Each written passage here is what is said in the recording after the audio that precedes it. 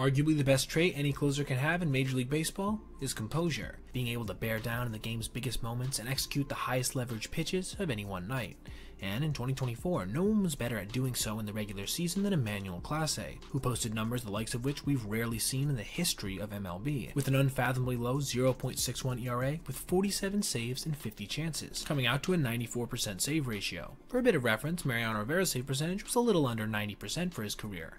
So, needless to say, this was an all-time good season for Clase, but this, of course, is not where our story ends. Because you see, once the postseason started, all of a sudden, Clase became uncharacteristically hittable, giving up four runs in just five and two thirds innings in the ALDS versus the Tigers, including blowing game two when he gave up a go ahead three run shot to Kerry Bonds. But it would be in the ALCS that he would truly have his ass handed to him and respond in let's say, an interesting way. His first appearance of the series would come in Game 3 when he took the mound versus the Yankees with two outs in the eighth inning, before immediately giving up a game tying two run shot to one of the postseason's coldest hitters, in Aaron Judge. That was bad enough, but it wouldn't end there, as the very next batter, Giancarlo Stanton, would then take him deep to center field for a go ahead shot. Two batters faced, two home runs, and the Guardians now trailed. This game would be salvaged in that the Guardians would go on to tie it with two outs in the ninth and then win it in the tenth, but Clase wasn't satisfied with letting this result speak for itself. You see, following the contest, he would post this to his Instagram story, basically showing off all of his accomplishments. Now, I think I can confidently say here that nobody was really questioning his overall ability or track record, simply his performance so far in the postseason, so this came across as a little insecure, to say the least.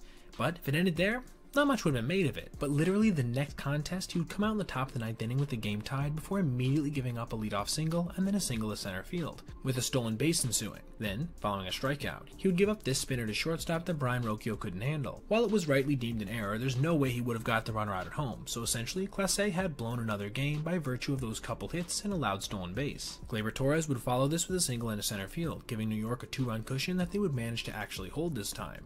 So, to recap, Clase had blown Game 3, gotten bailed out, flexed all of his accomplishments on social media to an audience of confused onlookers, then immediately blew Game 4. Just not a good look, and one of the more underrated stories of the postseason.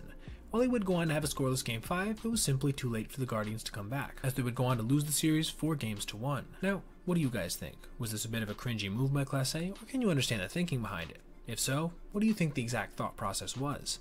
Let me know in the comments below.